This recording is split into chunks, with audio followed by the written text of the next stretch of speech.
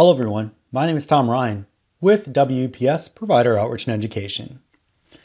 Today we're going to hear about the importance of provider enrollment to the Medicare program.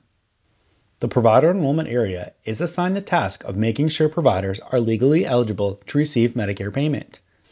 Provider enrollment's job is to screen providers to avoid fraudulent billing, ensure anyone asking for payment meets the federal law requirements, and make sure providers meet license or certification criteria. The Medicare Administrative Contractor, or MAC, enrollment staff completes enrollment for individual physicians and non physician practitioners, suppliers, such as labs or ambulance companies, and facilities such as hospitals or skilled nursing facilities. Medicare allows enrollment two ways electronically or on paper, and we process both applications. Internet based provider enrollment chain and ownership system, or PECOS, completes the electronic enrollment process.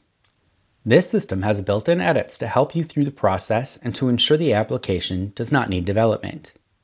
We have a shorter time to complete the processing of electronic applications versus paper applications.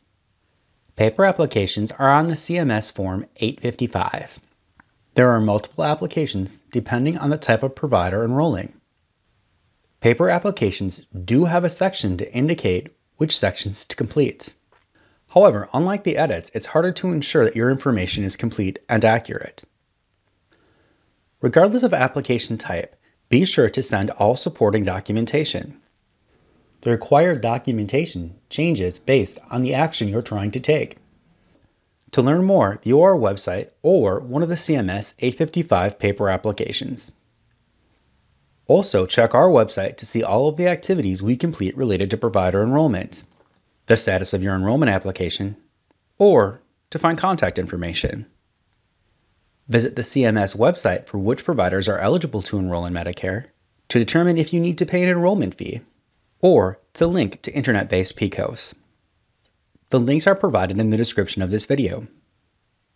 That's it for the introduction to provider enrollment.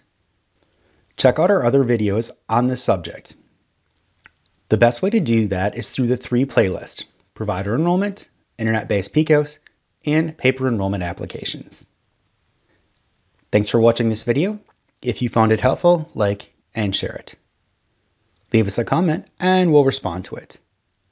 Last, subscribe to our YouTube channel for the most current information coming from us.